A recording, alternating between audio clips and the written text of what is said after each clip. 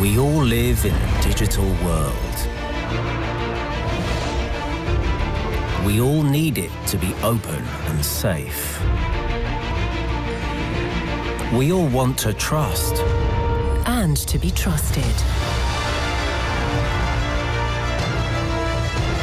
We all despise control. and desire freedom. We are all united. Good afternoon. Welcome, everybody who watches us uh, here in Katowice and those who watch us online. Um, well, uh, my name is Małgorzata Bonikowska. I represent the Center for International Relations from Warsaw, Poland. Um, and one of the topics of this panel is relevant to our uh, work. We uh, uh, we fight disinformation. It has been a while we deal with this subject, and it will be one of the topics covered today.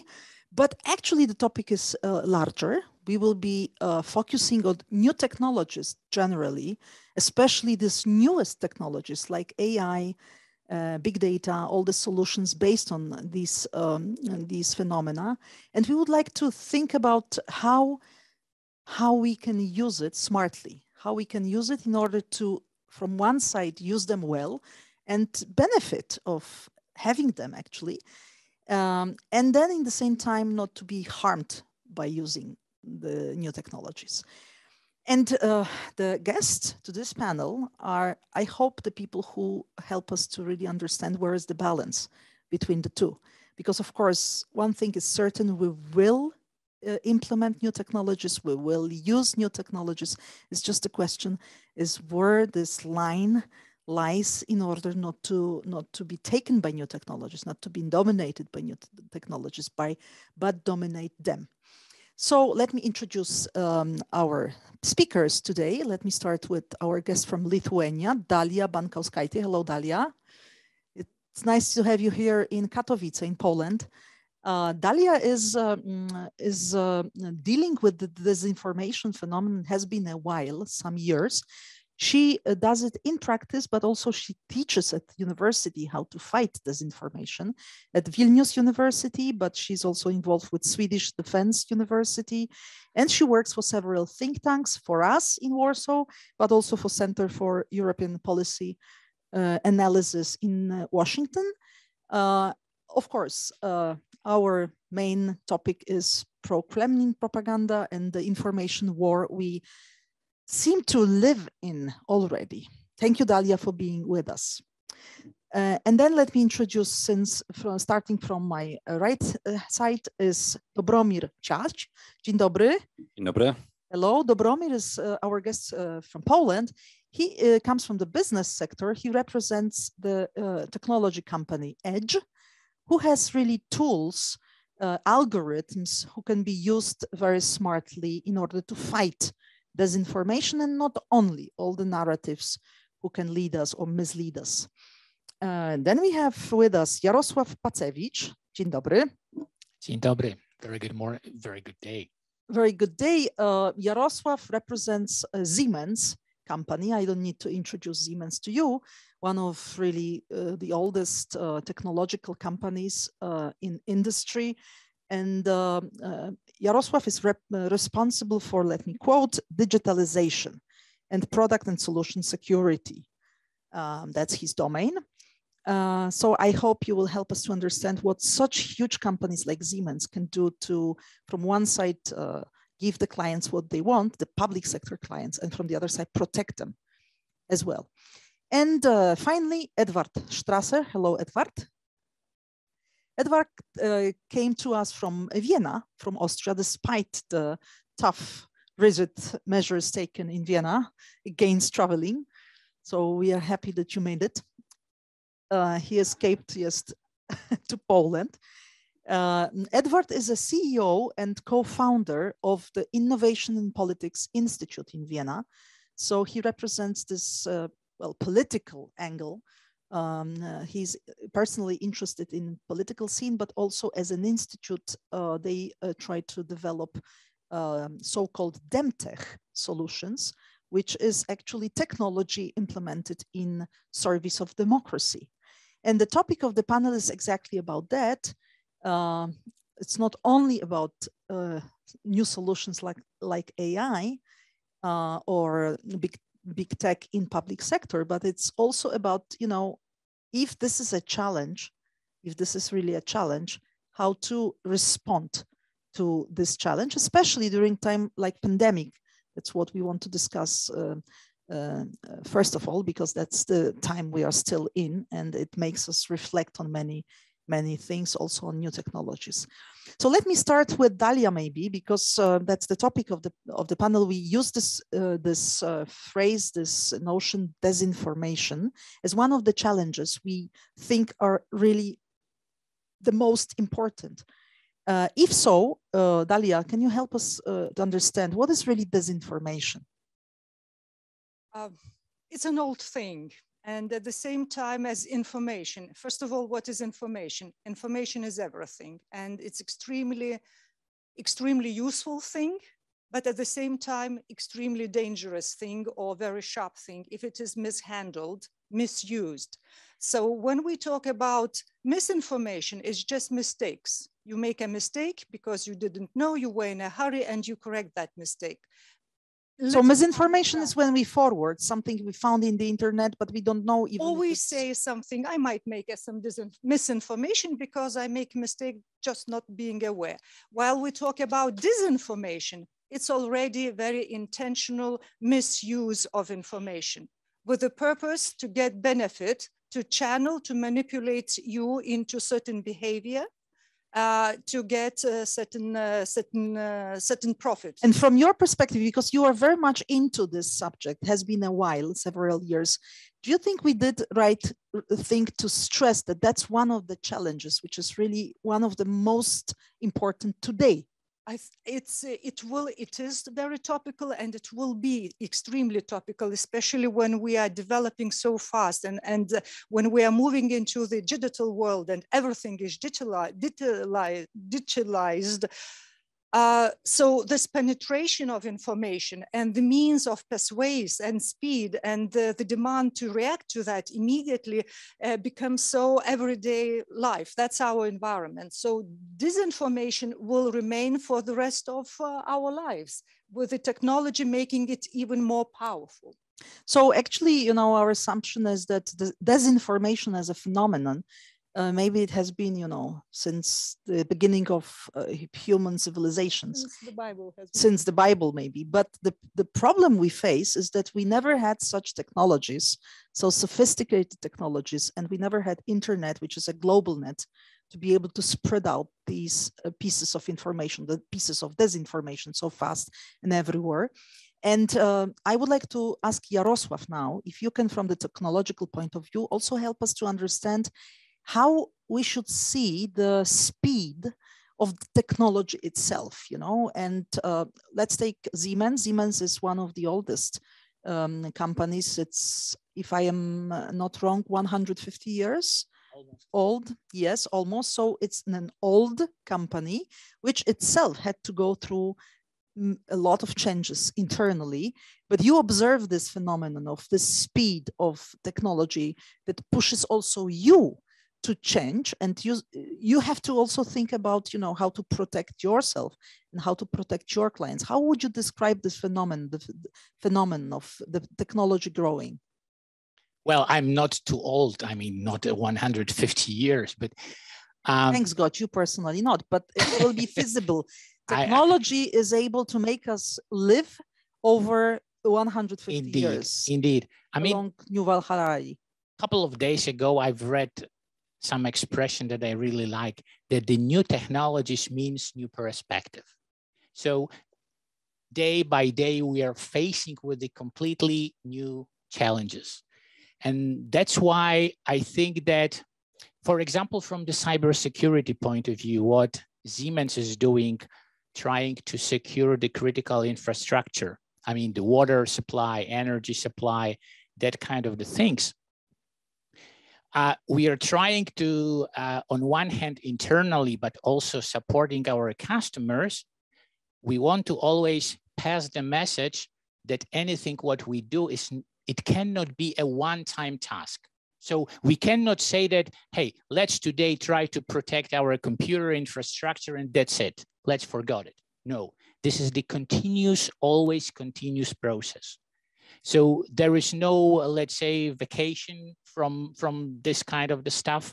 We have always think, analyze, verify, then implement some measures to protect our environment, then optimize or, I don't know, um, modify, review, and the circle is going back and forth. So if I understand it correctly, it's just like a vision of uh, technology going absolutely everywhere, even to those domains who are by, you know, nature quite old, like energy, you know, uh, production. It has been, you know, many years we have to think about production of energy. I think that the big challenge for today is that even 20 years ago, every single industry or the public services were growing somehow itself with the very rare links. So sectors, by sector by sector. Indeed. Now everything is interconnected. Right now, you're fully right. Everything is connected. Even the shop floor in factories are connected to the internet, which means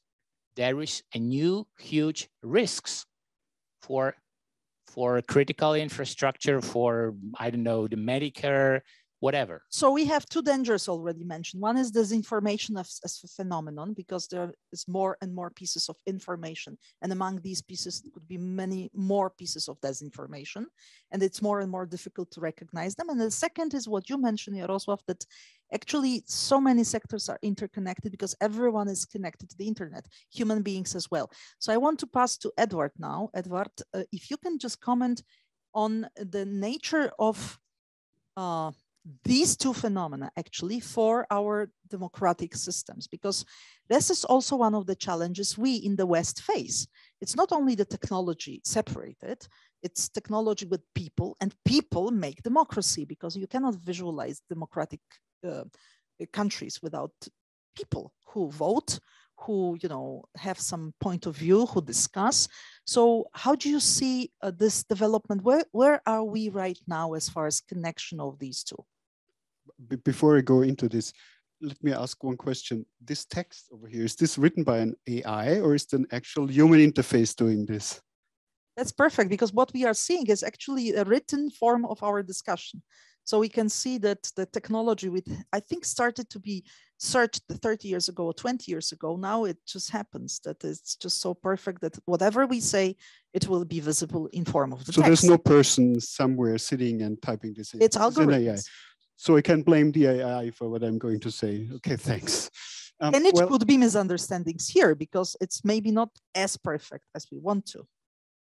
So mind it's what you're saying. Thing. It's a great thing. Mind what um, you're saying. Anyway, um, yeah, just to give you an example, um, what, what's happening, especially during the last two years in the pandemic. Before that, it was um, strange for many people in this in, in the political world, for instance, to use technologies to in, in um, to bring citizens into the uh, decision-making processes. I mean, a couple of years ago, Axelle Lemaire in, in France introduced this initiative to uh, co-write a bill with, all uh, citizens of France, and 23,000 citizens wrote together a bill in some kind of online Wikipedia page. That was five years ago.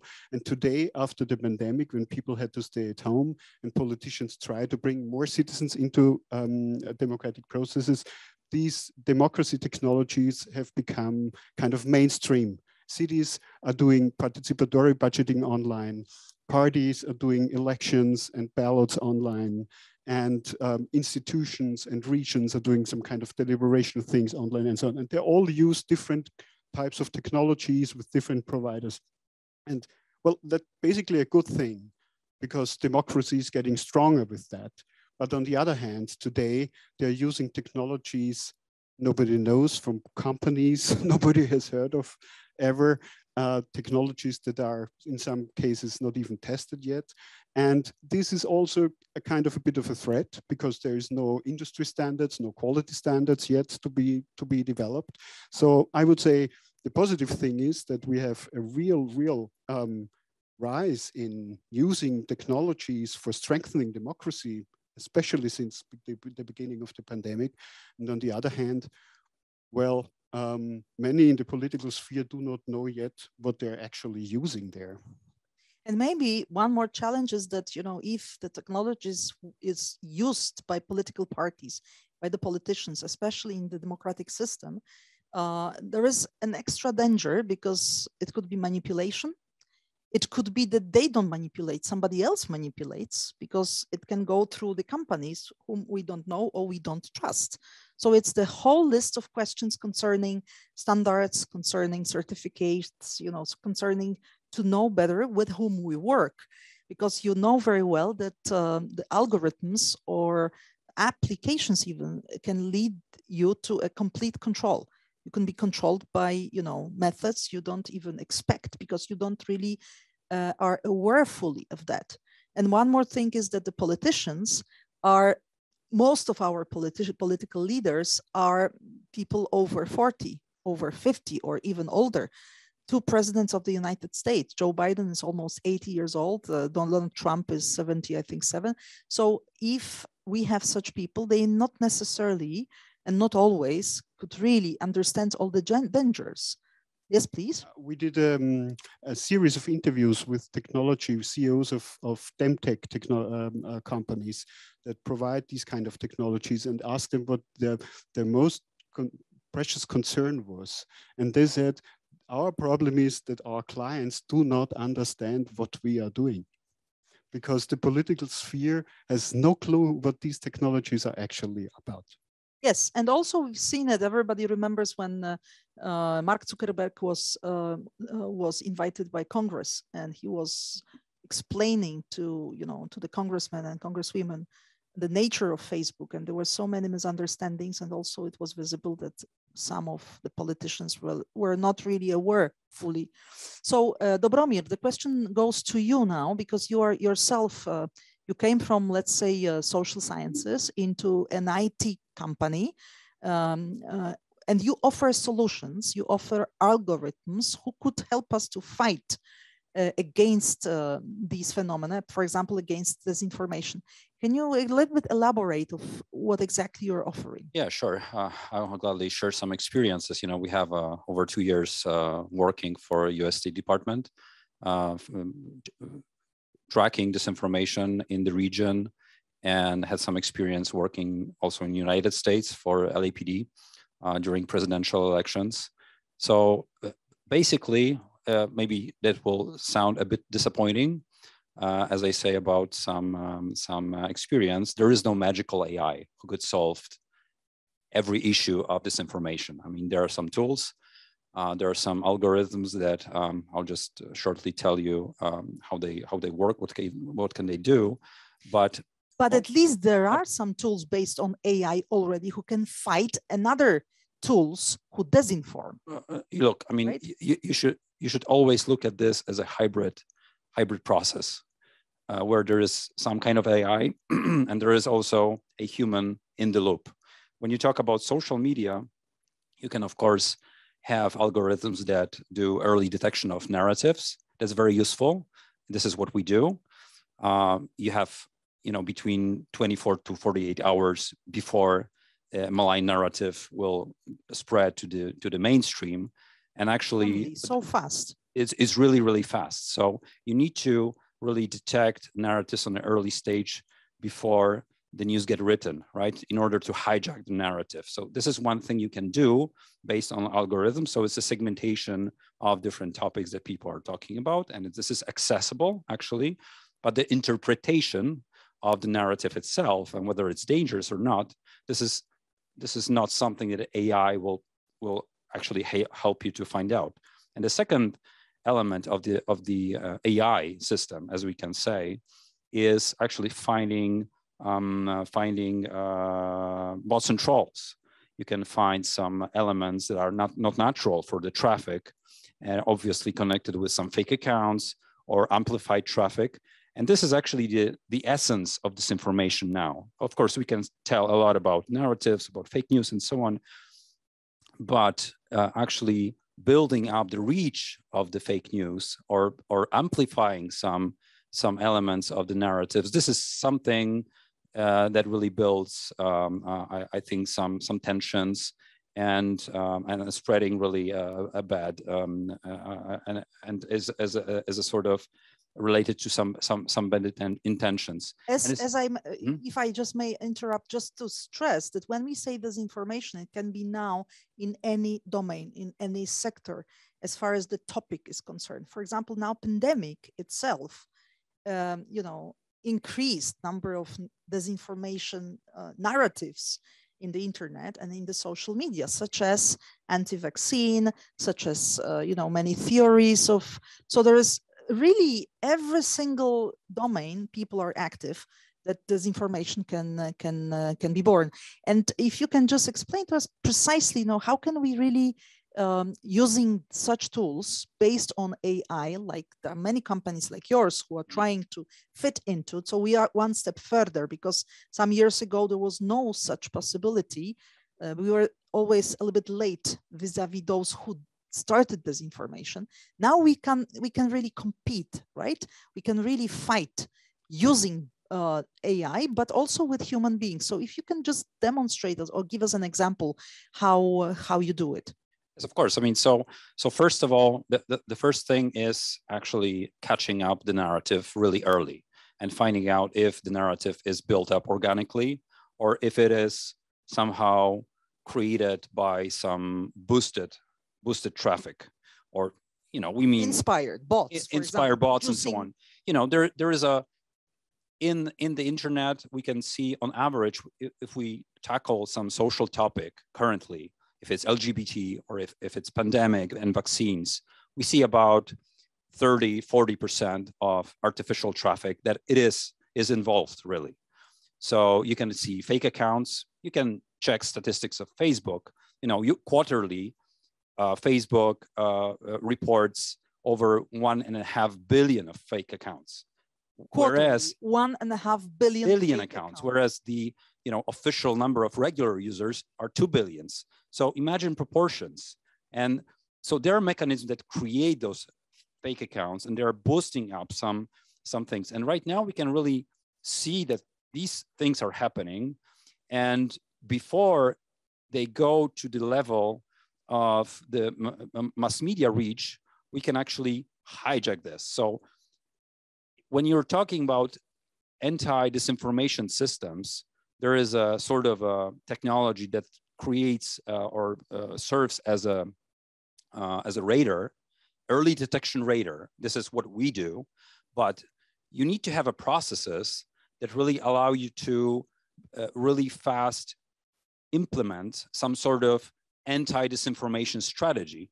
And it's really uh, based on a cooperation of you know uh, NGOs, um, think tanks, yes. think tanks, and so on technology would not solve all the issues. And of course, it must also work on the level of PR, communication of, you know, of companies, public institutions, and so on. So th this is what we need to learn together, apart from the AI, that of course is, important, is very important, how to cooperate within the wider scope of different players to really, you know, do this kind of pushback when we know and observe this information the question is how to react within 24 to, to 48 hours, because after this, it's going to be just too expensive to cope with. All right. So, so, so uh, many players need to be involved in this. So that's recommendation number one. And I want in the second round of the, now our discussion to go into the recommendations, especially to the public sector itself, to the politicians, to the government who meet uh, during this event IGF here in Katowice uh, how to find this balance, right? So your recommendation would be first of all to cooperate. Uh, and it's not only that IT companies can do them can do it alone, and uh, they can't do it just to show the the service to the client. It has to be also an analytical part, qualitative, quantitative analysis, and also communication strategies to be able to find the right solution to the disinformation campaigns. Dalia, if you can comment on that, because you do this in the Center for International Relations with us, but also with other um, uh, think tanks, you had the experience. Uh, how would you, um, what could be your recommendation then? I would, um, I would, Dalia, microphone. There are more than one point uh, should uh, should be kept in mind when we are talking about countering uh, disinformation. One thing that any disinformation operation is an integral part of any influence uh, operation, any attack. So that can be to the infrastructure and this combined with the disinformation. It can be uh, it can be cyber attacks, but it always involves the content that is disinformation. Another thing is that disinformation is not a single action. So it is a systemic, it's a strategic communication for the malign purpose, goals. So it is systematic, uh, the narratives are constructed by structures, architecture of different messages that are used and abused and, uh, and using our vulnerabilities of the society. So in other words, it could be like uh, other states playing with that. It could be also some companies vis-a-vis -vis other companies who can harm. It depends on the goal. You might be manipulating, you might be persuading because what is communication? Is conveying certain information and expecting that your target group will will will behave according to the information that uh, that receives and believes in it. So it's about uh, really fighting uh, fighting for minds and hearts uh, of uh, of the society. We say that we are in the state of war already. It's information war we are into and Europe became really a battlefield of this and of course, it's not all, all only uh, necessarily the states involved could be also infor uh, disinformation about our mindsets, right? Different players. Like different... anti-vaccine, it's a very good example. And uh, it's not necessarily everything is very purposeful. Purposeful. Sometimes you do this kind of uh, circles of water. You know, you throw the stone, and then you have uh, circles, rings of uh, of waves going around, and you even don't know how to predict it. But uh, what I wanted to say, if really we talk about countering disinformation, if we are always in a countering position, we will never win because it's a defensive position. Whether it is infrastructure, whether it is uh, debunking things, these are tools. Content is a matter. So far, AI, as we see, is extremely important, but still we are living, uh, living beings and our brains is the value. So the content our identity and our strategic communication, our narratives, and we use this term positive narratives. That is, we have to know our story and believe in. And then, then what, uh, what uh, about technologies is excellence. It's excellent when we talk in military terms, we have logistics. So in the digital world, we have information logistics because we see how different messages are flocked together and what can be a signal. But again, you have to have the brains to know what to do with this, what for. So that's uh, that's my recommendations. Uh, to so instead of always answer to the threats, to the narratives presented by somebody else, we should really produce you know you have version. to lead the story i would like to get back to edward now because democracy it's itself a, a, a question mark there are some countries who say you know democracies during pandemic didn't deliver uh, democracies are not really systems, uh, it's not a system adapted to 21st century challenges. So it's better to talk about good governance and bad governance instead of talking about democratic regimes and authoritarian regimes, for example. And you, you can imagine who says these kind of uh, things. So how we democracies could really um, uh, prove that we deliver and how Demtech, the thing you are uh, into, uh, this domain, technology in use of democracy, uh, help to prove that democracy can work couple of questions now. Um, well, um, following on what you just said, Dalia, um, this um, defensive democracy, I completely agree. It's more of a, a self-confident democracy that we need, a self-confident democracy where citizens and politicians and institutions together try new things to get ahead and not just to run behind completely. And when we talk about a self-confident democracy that tries new things, that is courageous and creative uh, in, the, in, in the political system, we need to educate political operatives, political professionals to um, being able to develop new technologies and to, uh, together with companies and to use these technologies. We have seen that. But you mean instance, what kind of one example? do- an example: uh, artificial intelligence, for instance. The legislative bodies in many countries do not know what kind of challenges they will face in the legislative process with artificial intelligence in term in all fields of policies in all fields. And so what, what we are at the Institute doing right now is for, for pa parliaments, educating um, members of parliament to understand how they have to rethink the legislative process and what kind of um, technologies in the uh, field of artificial intelligence will change their work as, as members of parliament. And this is what we are doing. Are they in willing to countries. really be educated? Are they willing to Yes, they are. this? Yes, they, They are, are because there are many politicians who already understand that they are lagging behind with their knowledge and their know-how, and they desperately um, need and also accept the offer if if if given in the right way. So again, education will be the sector, you know, uh, when we discuss these things concerning democracy, sooner or later, we always end up with education because it's obvious also because, you know, we cannot have democracy without really educated, prepared citizens. May I add?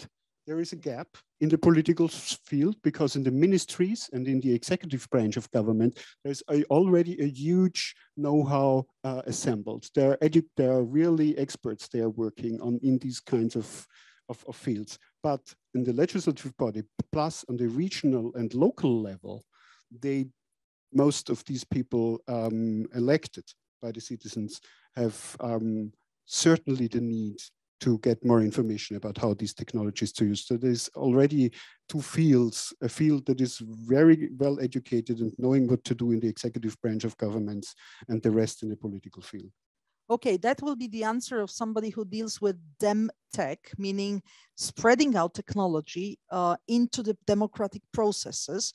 We politicians, am political scient scientists, so political scientists and politicians try to change also a little bit democracy itself, because we feel that democracy has to also be adapted to new times. For example, not only to use uh, in many new ways technology, but maybe also to think about engaging more people and uh, you know, from technological point of view, um, uh, democracy could be direct today, could really engage everyone. But of course, not everyone is willing always to be asked about everything. So we need maybe new institutions, new processes. That's also uh, another level we have to think about, not technological one. And uh, we say that technology is not necessarily guarantees more democracy. So again, Yes, exactly. And that's why I wanted to share with you our um, our recommendation. We, uh, as a Center for International Relations, we are uh, operator in Poland and Baltic countries with Dalia of a project uh, called Everyone, which is a new in, uh, initiative uh, born, by the way, in in uh, in Vienna and in uh, Germany as well, to spread out the the idea to uh, add to existing charter of human rights, which is a part of our Lisbon Treaty in the European Union. Uh, so it's um, a charter of human rights of the EU right now. Um, enlarge it, add new articles, new rights, and of course, it's very much uh, it's in it's connected with 21st century because most of these new articles concerns internet uh, and right, for example, of people to decide what kind of knowledge about themselves will last in the internet and what will be deleted by them as owners of this information. So this will be the right for, uh, let's say, decisions uh, about our own profile in the internet. Or another article, it will be, it's very interesting one. I would be very curious how you react on that. The right to uh, be said the truth by the politicians, by those who uh, are on the top and are paid by public uh, money from public budget, from you know our own uh, people's money, let's say, because the state doesn't have any money, as you know, it's our money, citizens' money. So the right to expect that these people, presidents, prime ministers, ministers, tell us truth if not, they could be persecuted for, you know, misleading us, those disinforming. So that's of course an open question, and we uh, will be very happy to discuss it further. But this could be one of the uh, answers to the challenges we see.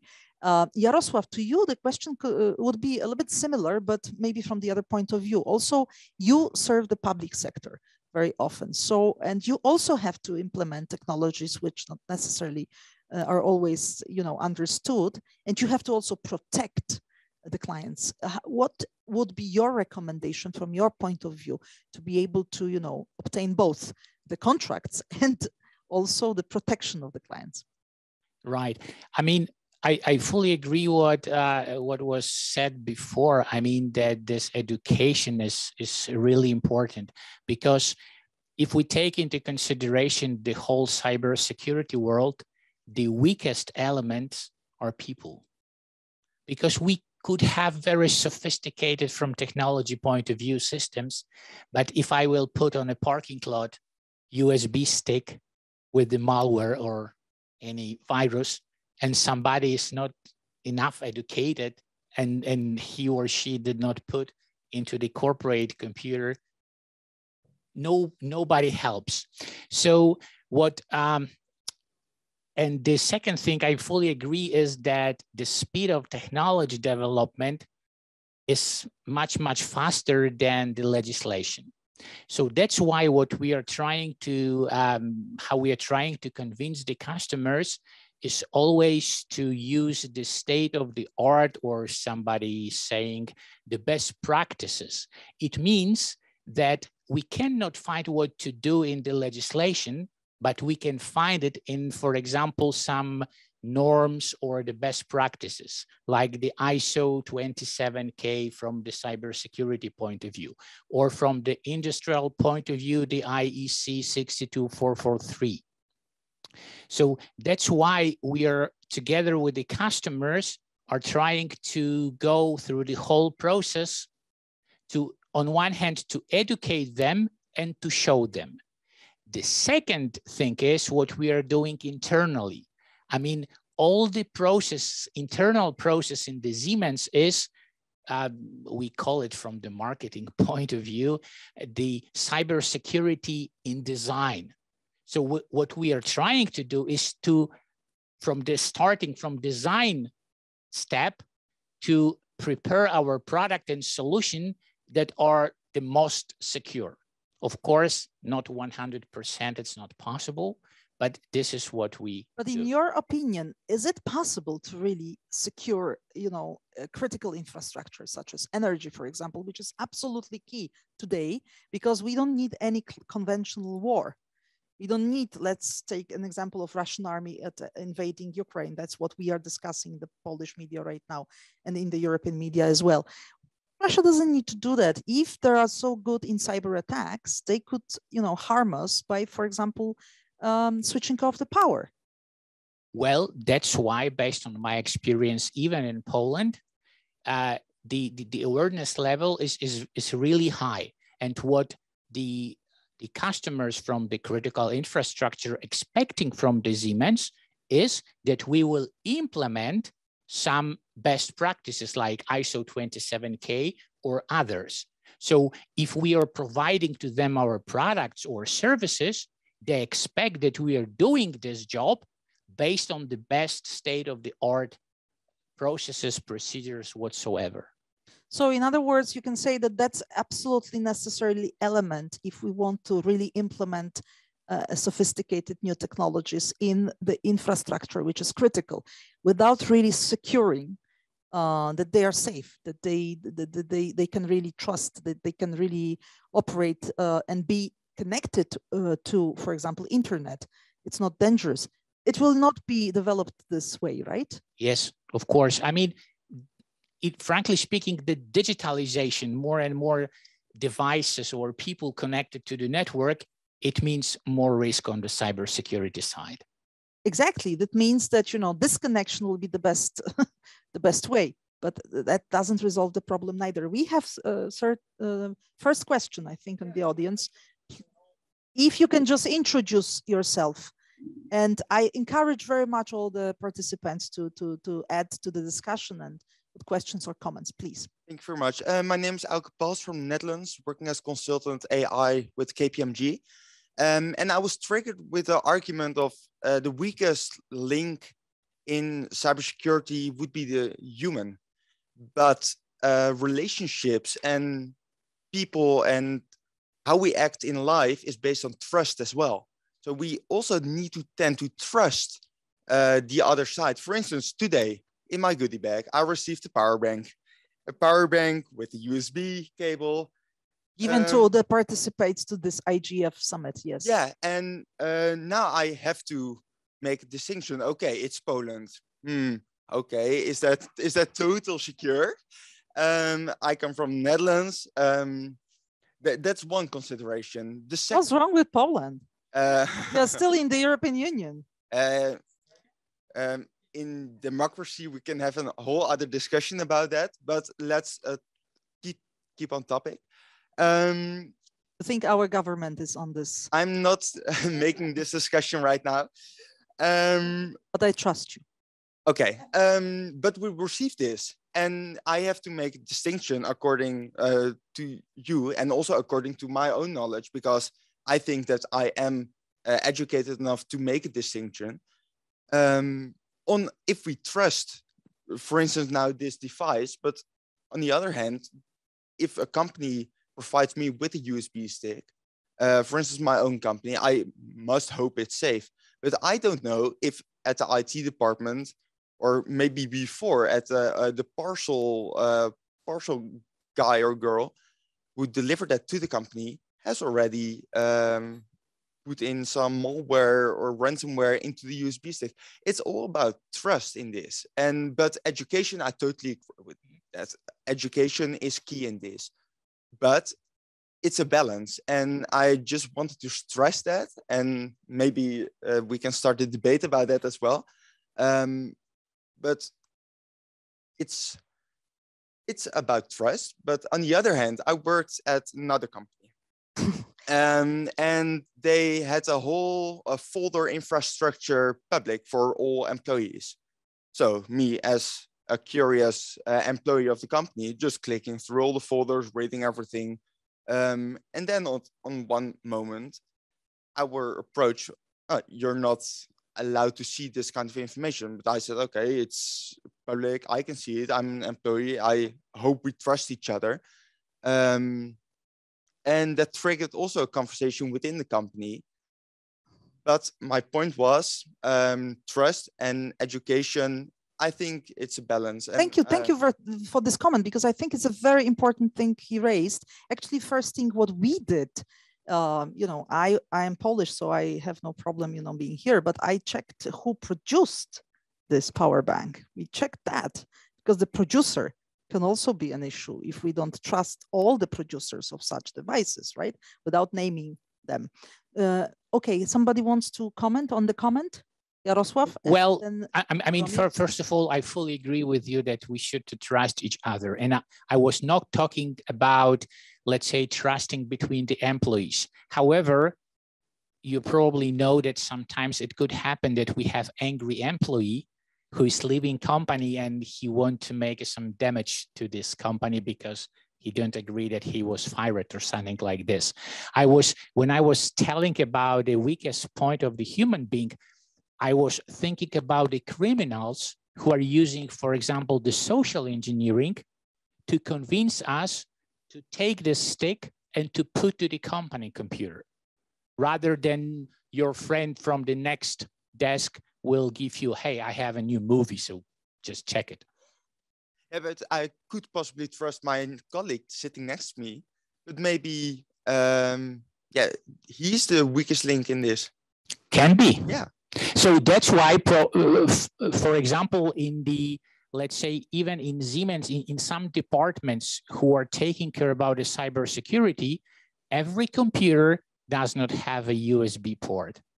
So you cannot copy uh, company documents or company files and take them with you outside the office. But he's also right, you know, because during pandemic, uh, we still are having pandemic and online is so natural. And we've discovered that in many public institutions, because of the protection, um, we couldn't really connect. Certain, you know, tools were not allowed uh, because the laptops were protected. So the human element would be that to avoid this problem and to be able to connect, uh, the the people were using private equipment. They were using private laptops. They were using smartphones. So it's it's very much about your comment. It's well, we have to trust each other, but there are also some levels of protections which could not be too high because otherwise we cannot really work. We cannot really be digital. I mean, the most critical is that always what, for example, we are doing at Siemens is always to make the risk assessment. So for example, if the company will allow you to look at every file on the servers, so if this is not a critical for them, if the information will be made public, that's totally fine. Let's, but let's make if, a note, it was my former employee. Okay. Yeah. but if, for example, at Siemens, we are producing a blade of the gas turbine, and the precision can be one uh, 0.0001 millimeter, and some criminals will change technical files, and the, the, the dimension will be one single millimeter bigger then it could cost people's lives because this gas turbine will damage infrastructure and sometimes can kill the people. So that's why we always think about each single piece of information from three points of view. Confidentiality, does it mean if I will release something wrong happen? Integrity, if someone will change something within. And last is availability if I lose this information, mm. am I still able to continue my business or not? That's also a good recommendation. Dobromir, then, and we have one more uh, question or comment. Yeah, yeah, yeah. yeah. I'd like if to comment. Can... I'd like to comment. I love your comment. Uh, you, you, know, because you you just tackled this idea of trust, and you ask a question: Can I trust this country that I'm coming to? Can I trust the company that is producing something? Can I trust my colleagues, and so on and so on? And there is this very wide term of digital trust as a framework. And, you know, I, I think it's it's it's one of the elements that that provide a lot of you know recommendations to how we should really act right now in in in this technological reality because you know we are very much in love in innovations and most of the innovations are just acquired and and implement it and not so many i think companies do this balance uh, of, of, of, of just balance testing asking a question you know whether it's not only good for the uh, profitability uh, short term or is it good what's you know in the long term for the humanity? So this is one thing. And i'm i'm coming i'm coming to the point where we started talking about this information but the real problem of this information is actually a business model of the media, you know, because no one is really interested in getting rid of bots and trolls and all that stuff we don't trust because it works to the profitability of the social media, of the media itself, and so on. You know, you have a situation where the digital advertising market uh, rises every year double digit, like 20, 20 something percent. And if you look at inventory that's available to the consumers, it's not really, it's not possible that it's growing because the population is stable, number of mobile phones is stable, and so on and so on. And only due to the fact that there is this growth factor that you know all the players want to be part of, they're interested in keeping all this false, you know, all this false um, uh, traffic to their advantage. And this is where digital trust is sort of have boundaries, right? So we could say we don't really trust these media because their algorithms not serve our public, let's say, interest, but they serve it only serve themselves, you know, as a as an income uh, process. So it, it's it's exactly the same. You know, we can of course discuss big corporations. We had a lot of examples from the corporate sector, you know, including let's say uh, Volkswagen, you know, they were cheating on emissions, for instance, like for their cars and so on, because they had short-term, you know, um, uh, interest in, in in providing uh, something that would, you know, result as an in, in a prof, in a profitable business. But but uh, uh, th this is this is uh, something I would use as a very strong um, uh, recommendation to really implement digital trust framework. So require from every company and from every player on the market to really build a transparent framework for building this balance test. So we know that there is a Facebook. We know that there is this short-term interest in building revenue, but Facebook should provide, for instance, Meta. so, some some or meta or meta right should provide some some some information how the algorithm works and then do some balance testing or whether it's of course it's good for the company or on the other hand does it really provide something good for the for the society Okay. right or Let's put uh, the dot here because otherwise we'll not have time for another comment. Please just let's stop here because we have another gentleman who is willing to to comment as Yeah. well. Okay. Uh, if I were sitting on the other side, I would also indeed encourage you uh, make an impact assessment on all stakeholders involved. So the company, uh, the public, and if you do that in a multi-stakeholder uh, way, then you can uh, see if an AI system uh, uh-huh. could be harmed or not. Thank you. Thank you for this recommendation. Please introduce yourself. Thank you very much for this opportunity. Uh, is it working? Okay. So my name is Asim Adil and uh, I'm an IT consultant. I come from Pakistan, but uh, I worked uh, uh, worldwide. Uh, right now I'm based in Germany. My concern about all this talk topic was, uh, we started talking about AI and its misinformation and miscommunication, all those aspects. We know data vulnerabilities, then we move to cybersecurity and threats. But the most important is uh, how we bring the strategies, particularly from the policymakers' point of view, as you raised about the human rights. So uh, I coined a term a few days ago, digital human rights. So might be that would be the right caption for you. And it is not about digital human rights. It is also about that how we create the awareness.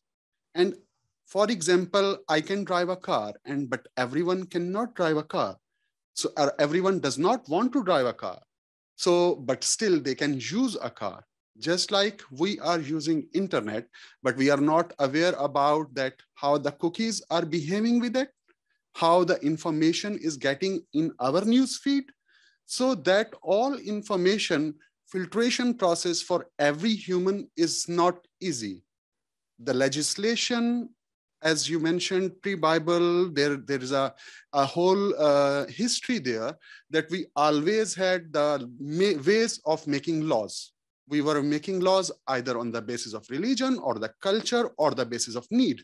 So now this is the time to make the digital laws and implement them no matter if it is a governance uh, uh, on the democratic basis or a regime basis, but still there should be the legislations which should be enforced or dictated with following the standardization, and then awareness should be created for the common public. Thank you for That's that what I wanted because it's exactly what we, it's happening in the European Union and in the Western world. Definitely, you know, Especially trying to GDPR.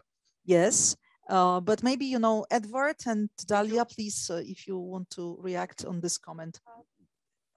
short answer is yes. it's a reaction. I'm I'm uh, I'm fully on your side, and I'm saying yes. On the other hand, the reality is, as we know, internet happened to us. It's running before, uh, before, in front, uh, before, and we're chasing.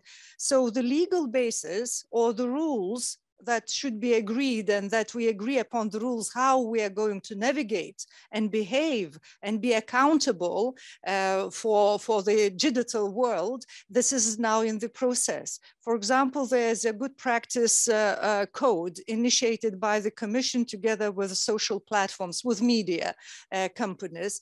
Uh, it's absolutely clear it's a good it's a nice uh, step forward but it is not enough it didn't work it does not really you cannot rely. So the the code uh, the code book or legal bases are under under the drafting. It's extremely it's extremely uh, demanding. More important, I would say, when I hear about infrastructure, Siemens infrastructure uh, examples, I immediately think about the energy sector infrastructure. And uh, this is again, trust is extremely important, rules and agreements as well, and agree upon the what, what, world we live. If it is a democratic world, it is based on trust, about on the transparency and accountability. That is certain moral values or moral campus. It's not a naive talk. Otherwise, we get get lost. So it's important, really, the member states trust to each other within the companies, yes, it's extremely important. But at the same time, this is to do a lot with the intelligence, with our national securities that unfortunately even allies do not like to share. But I understand his point was also that even if we trust, certain rules of the games have to be play, put, like the same way with cars, you gave the example of cars, we have to have rules in the internet how to drive, let's say how to, uh, for the internauts, how to, you know, exist in this space. And if you want to know more about that, uh, the Center for International Relations has a project called Start to Think info and we propose certain code like the roads you know the, the the the the code of signs for the roads was implemented one day so now we propose the code for the internet for the internauts to be able to browse um, uh, among all these sites in the internet uh, to stress what is really important to remember, right? Uh, one more question to Edward, maybe he wants to react and then I will get back to you. question to me? No, no, it was a reaction. No, I'm responding positively to what you said. I really agree. Thank you very much. I, I would just like to add a little bit here.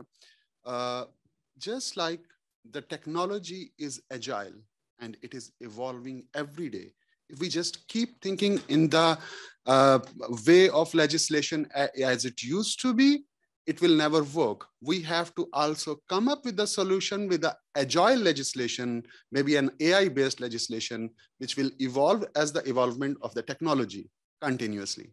Mm -hmm. Thank you. Thank you for this comment. Uh, we have another comment. Uh, yes, please.